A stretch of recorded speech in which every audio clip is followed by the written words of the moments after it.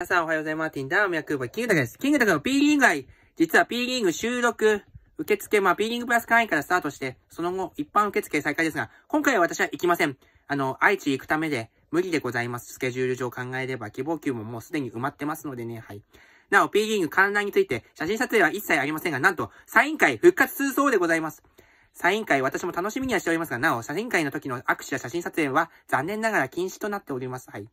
サイン会復活できて嬉しい反面、写真撮影はまだ悲しい方でございます。まあ、しょうがないです。運営さんの。はい。スタッフさん、しょうがないです。まあ、今年は P リーグの観覧についてはまた今度考えておきます。オフィシャル DVD の撮影はいつやるかはそこはわかりません。はい。